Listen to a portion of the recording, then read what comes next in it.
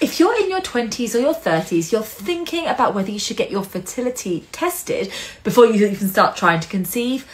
I get it, wanting information feels proactive, but here is why many gynecologists, like myself, don't recommend routine fertility testing for any young person who just wants to know a bit more about their body. Now, there are many at home fertility testing kits you can get or private clinics offering fertility checks, and most of these private packages lean on hormonal blood tests AMH, FSH, and LH. And the idea is you check those hormone levels to see if your body is working as it should. Now, the problem is that the numbers in these types of tests don't usually answer the question that most people are really asking Will I be able to have a baby when I'm ready? Now, the hormone results can be useful in context, but on their own, they're limited. For example, AMH, anti-Müllerian hormone, is a commonly used test to predict your fertility. But what it is, is actually an indication of your ovarian reserve. That gives you a rough indication of how many eggs you've got remaining in your ovaries because we're born with all the eggs that we're ever going to have in our life. But it doesn't tell you anything really about the egg quality, whether you're ovulating each month, whether your fallopian tubes are open, whether your partner has good quality sperm, or whether your uterus is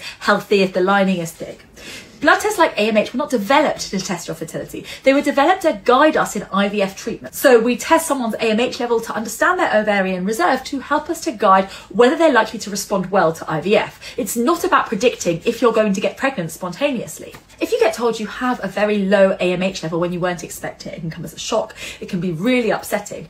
And it may potentially indicate that you might go into a premature menopause. You might be running out of eggs. But also, I see people regularly who conceive despite this. And on the other side, having a reassuring number does not guarantee that you get to go home with a baby. There are a few reasons, as I've mentioned, that clinicians are cautious about using these hormonal panels as a general fertility checkup. Firstly, the results can give false reassurance or unnecessary anxiety also, they're often done as finger prick samples, which you might do at home, rather than a proper blood draw that's done in clinic. It's difficult to know actually if those results, the finger prick blood tests, are validated and comparable to someone who might have their level checked in a lab. So, if you're concerned about your future fertility, hormone tests can be useful when you do understand their pros and cons, so the limitations of these tests, and you interpret them in context. But on their own, they rarely change the plan.